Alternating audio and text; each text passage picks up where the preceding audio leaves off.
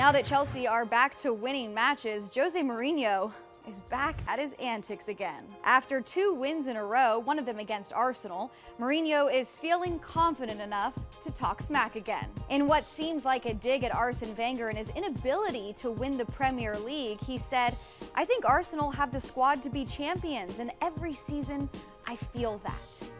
I don't know why they can't win it, but that's my feeling.